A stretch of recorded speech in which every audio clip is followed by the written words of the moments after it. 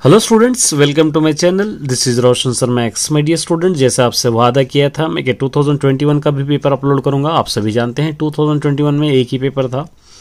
Eight class physical science का paper आप देख सकते हैं कि एक क्वेश्चन पेपर है।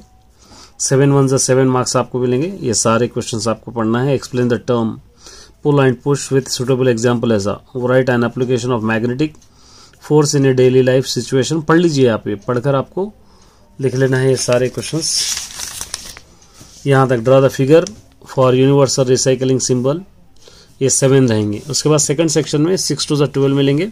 यहाँ पर भी आपको शायद कोई ऑप्शन नहीं मिलेगा।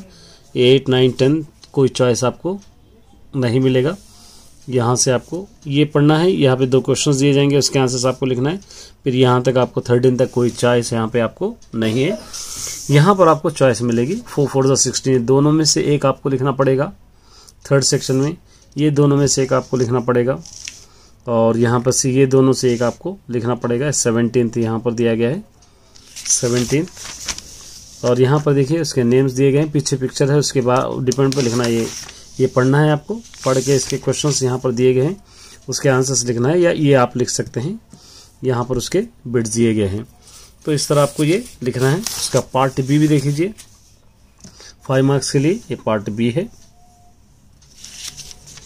ये पार्ट भी इस तरह आपको देख लीजिए, आराम से आप देखकर सॉल्व कर लीजिए, ताकि आपको अच्छी तरह मार्क्स मिले।